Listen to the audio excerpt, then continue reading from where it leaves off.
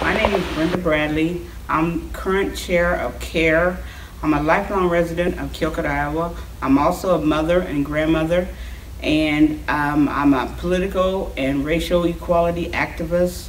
And right now, I have a poem that I would like to read to you that I wrote especially for Martin Luther King Day.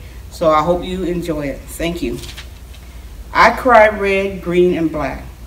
I cry for the blood of ancestors gone but not forgotten, tortured and beaten and forced to pick master's cotton.